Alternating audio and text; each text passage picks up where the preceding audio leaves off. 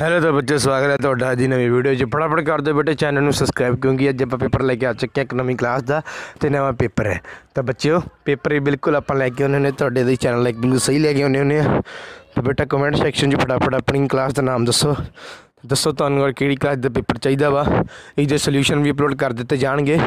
ਤੇ ਬਸ ਜਾ ਕੇ ਟੈਲੀਗ੍ਰਾਮ ਨੂੰ ਆਪਣੇ ਤੋਂ ਜਾ ਕੇ ਕਰ ਲਓ, ਫਟਾਫਟ ਫੋਲੋ ਕਰੋ ਸਬਸਕ੍ਰਾਈਬ ਕਰੋ। ਕਿਉਂਕਿ ਉਸ ਤੇ ਤੁਹਾਨੂੰ ਬਹੁਤ ਜਲਦੀ ਔਰ ਨੋਟੀਫਿਕੇਸ਼ਨ ਜਾਰੀ ਕਰ ਦਿੱਤੇ ਜਾਣਗੀਆਂ। ਤੇ ਪੀਡੀਐਫ ਵੀ ਪੇਪਰ ਤੇ ਸੋਲੂਸ਼ਨ ਸ਼ਾਇਦ ਤੁਹਾਨੂੰ ਦਿੱਤੀ ਜਾਵੇਗੀ। ਤੇ ਬੱਚਿਓ ਚੈਨਲ ਨੂੰ ਕਰੋ ਸਬਸਕ੍ਰਾਈਬ ਵੀਡੀਓ ਨੂੰ ਸ਼ੇਅਰ ਕਰੋ ਆਪਣੇ ਮਿੱਤਰਾਂ ਤਾਈਂ, ਤਾਂ ਕਿ ਤੁਸੀਂ ਵੀ ਚੰਗੇ ਨੰਬਰ ਲੈ ਕੇ ਪਾਸ ਹੋ ਸਕੋ। ਚੱਕ ਦੋ ਫੱਟੇ, ਚੱਕ ਦੋ ਫੱਟੇ ਸਬਸਕ੍ਰਾਈਬ ਕਰ ਦਿਓ ਚੈਨਲ ਨੂੰ ਬੱਚਿਓ।